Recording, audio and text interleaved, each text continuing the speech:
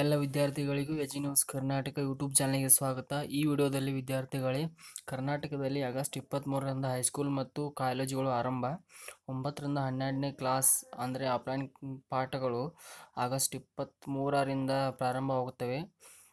Corona ಮೂರನೇ ಅಲೆ ಆತಂಕದ ನಡುವೆ ರಾಜ್ಯದಲ್ಲಿ ಒಂಬತ್ತನೇ ಕ್ಲಾಸ್ದಿಂದ ದ್ವಿತೀಯ ಪಿ ಯು ಸಿ ಅಂದರೆ ಹನ್ನೆರಡನೇ ಕ್ಲಾಸ್ವರೆಗೆ ತರಗತಿಗಳನ್ನು ಆಗಸ್ಟ್ ಇಪ್ಪತ್ತ್ಮೂರರಿಂದ ಆರಂಭಿಸಲು ರಾಜ್ಯ ಸರ್ಕಾರ ನಿರ್ಧಾರ ಮಾಡಿದೆ.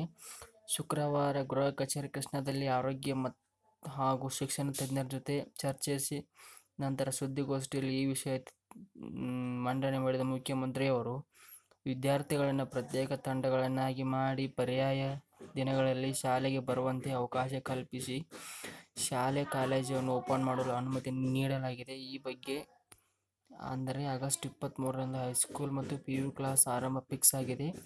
ಇದು ಇವತ್ತಿನ ಎಜುಕೇಷನ್ ಅಪ್ಡೇಟ್ ಆಗಿತ್ತು.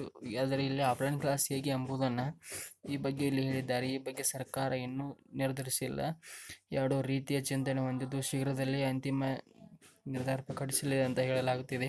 ನೀವು ಇಲ್ಲಿ ನೋಡ್ತಿರ್ಬೋದು ಪ್ರತಿ ಕ್ಲಾಸ್ನಲ್ಲಿ ವಿದ್ಯಾರ್ಥಿಗಳನ್ನ ಎರಡು ತಂಡ ಮತ್ತು ಎರಡು ತಂಡಗಳನ್ನಾಗಿ ಮಾಡಿ ಪ್ರತಿ ಮೂರು ದಿನಕ್ಕೊಮ್ಮೆ ಒಂದು ಗ್ರೂಪಿಗೆ ಕ್ಲಾಸನ್ನು ಮಾಡುವುದು ಮತ್ತು ಪ್ರತಿ ಕ್ಲಾಸ್ನ ವಿದ್ಯಾರ್ಥಿಗಳನ್ನು ಎರಡು ತಂಡ ಮಾಡಿ, ಎರಡು ಎರಡು ಗ್ರೂಪಿಗೆ ಡೇ ಬೈ ಡೇ ಅಂದರೆ ದಿನ ಬಿಟ್ಟು ದಿನ ಕ್ಲಾಸನ್ನು ಮಾಡುವುದು ಮತ್ತು ಇನ್ನೊಂದು ಅಪ್ಡೇಟ್ ಇದೆ ಇಲ್ಲಿ ಆಗಸ್ಟ್ ಇಪ್ಪತ್ತ್ಮೂರರಿಂದ ಒಂಬತ್ತರಿಂದ ಹನ್ನೆರಡನೇ ಕ್ಲಾಸ್ವರೆಗಿನ ಭೌತಿಕ ಕ್ಲಾಸ್ಗಳನ್ನು ಅಂದರೆ ಆಫ್ಲೈನ್ ಕ್ಲಾಸ್ಗಳನ್ನು ಪ್ರಾರಂಭಿಸಲಾಗುವುದು ಅಂತ ಶಿಕ್ಷಣ ಸಚಿವ ಬಿ ಸಿ ನಾಗೇಶ್ ಅವರು ಹೇಳಿದ್ದಾರೆ.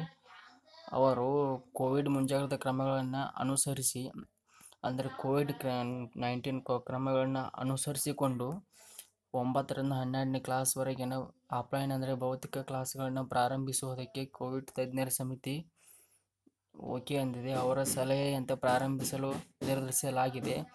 ಇನ್ನೂ ಇನ್ನೂ ಹಲವು ಇನ್ನೇನು ಮಾರ್ಗಸೂಚಿಗಳನ್ನು ಪ್ರಕಟಿಸಲಾಗುವುದು? ಈ ಆಫ್ಲೈನ್ ಕ್ಲಾಸ್ಗಳನ್ನು ಪ್ರಾರಂಭಿಸಲು ಮಾರ್ಗಸೂಚಿಗಳನ್ನು ಪ್ರಕಟಿಸಲಾಗುವುದು ಅಂತ ಹೇಳಿದ್ದಾರೆ. ಒಂದನೇ ಕ್ಲಾಸ್ದಿಂದಲೇ ಶಾಲೆಗಳನ್ನು ಪ್ರಾರಂಭಿಸುವಂತೆ ಒತ್ತಡ ಬರುತ್ತಿದ್ದು, ಆದರೆ ಒಂದನೇ ತರಗತಿ ವಿದ್ಯಾರ್ಥಿಗಳ ಬಹುತೇಕ ಪೋಷಕರು ನಲವತ್ತೈದು ವರ್ಷಕ್ಕಿಂತ ಒಳಗಿರುತ್ತಾರೆ. ಈ ವರ್ಷ ಹೆಚ್ಚಿನ ಪೋಷಕರಿಗೆ ಕೋವಿಡ್ ಲಸಿಕೆ ಲಭ್ಯ ಆಗಿರುವುದಿಲ್ಲ. ಹಾಗೂ ಈ ವರ್ಷದ ಮಕ್ಕಳು ಕೋವಿಡ್ ನಿಯಮಗಳನ್ನು ಪಾಲಿಸುವುದು ಕಷ್ಟ. ಇವೆಲ್ಲವುಗಳನ್ನು ನೋಡಿ ಸದ್ಯಕ್ಕೆ ಒಂದರಿಂದ ಎಂಟನೇ ಕ್ಲಾಸ್ವರೆಗಿನ ಶಾಲೆಗಳನ್ನು ಓಪನ್ ಮಾಡುವುದಿಲ್ಲ ಎಂದು ಹೇಳಿದರು ಮತ್ತು ಕೋವಿಡ್ ಆತಂಕದ ನಡುವೆ ಎಸ್ ಎಸ್ ಎಲ್ ಸಿ ಪರೀಕ್ಷೆಗೆ ಬಹುತೇಕ ವಿದ್ಯಾರ್ಥಿಗಳು ಹಾಜರಾಗಿದ್ದರು.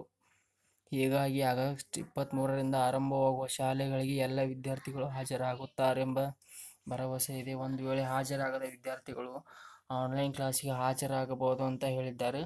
ಇದು ವಿದ್ಯಾರ್ಥಿಗಳಿಗೆ ಕರ್ನಾಟಕದ ಶಾಲಾ ಕಾಲೇಜು ಓಪನ್ ಮಾಡುವುದರ ಬಗ್ಗೆ ಒಂದು ಮಾಹಿತಿಯಾಗಿತ್ತು. ಇದು ಈ ವಿಡಿಯೋದಲ್ಲಿ ನಮಗೆ ಏನು ತಿಳಿದಿರ್ತದೆ ಅಂದರೆ, ಆಗಸ್ಟ್ ಇಪ್ಪತ್ತ್ಮೂರರಿಂದ ಕರ್ನಾಟಕ ರಾಜ್ಯದಲ್ಲಿ ಒಂಬತ್ತನೇ ಕ್ಲಾಸ್ದಿಂದ ಹನ್ನೆರಡನೇ ಕ್ಲಾಸ್ವರೆಗಿನ ಎಲ್ಲ ಆಫ್ಲೈನ್ ಕ್ಲಾಸ್ಗಳು ಅಂದರೆ ಭೌತಿಕ ಕ್ಲಾಸ್ಗಳು ಆರಂಭವಾಗುತ್ತವೆ. ಇದನ್ನು ಖುದ್ದು ಶಿಕ್ಷಣ ಮಂತ್ರಿಗಳು ಹೇಳಿದ್ದಾರೆ. ಇದು ಇವತ್ತಿನ ಎಜುಕೇಷನಲ್ ಅಪ್ಡೇಟ್ ಆಗಿತ್ತು. ಇದೇ ಥರ ಇನ್ನೂ ಹೆಚ್ಚಿನ ಎಜುಕೇಷನಲ್ ಮಾಹಿತಿಯಾಗಿ ನಮ್ಮ ಚಾನಲ್ ಸಬ್ಸ್ಕ್ರೈಬ್ ಆಗಿ ಪಕ್ಕದಲ್ಲಿರುವ ಬೆಲ್ಲೈಕನ್ ಕ್ಲಿಕ್ ಮಾಡಿ.